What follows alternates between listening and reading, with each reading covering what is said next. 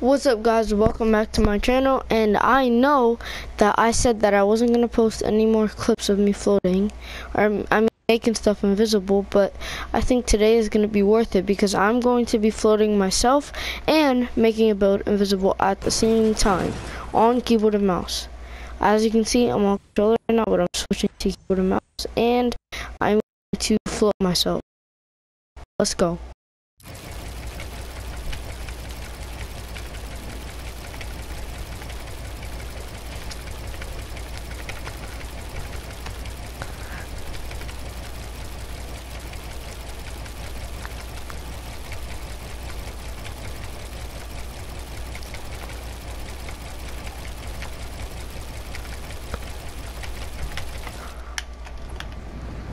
Alright guys, as you can see, it's up there.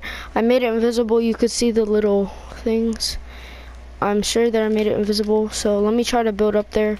And hopefully it doesn't run out because usually... Oh guys, I'm sorry if this is a waste of time, but... It's invisible guys, see? I know it just looks like a brand new build right now, but... It's invisible. You guys saw it when I first fell.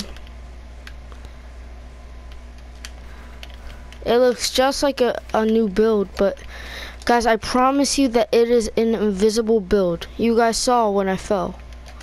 Let me do it again to, to prove it to you that I can make it invisible. Eh, but I'm not to float myself this time.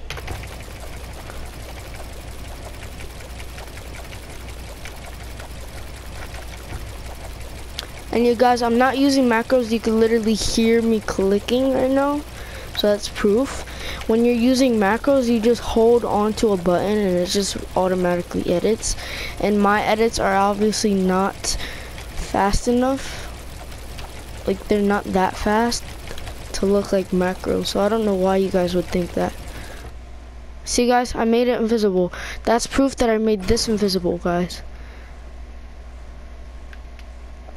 So thank you for watching and yeah.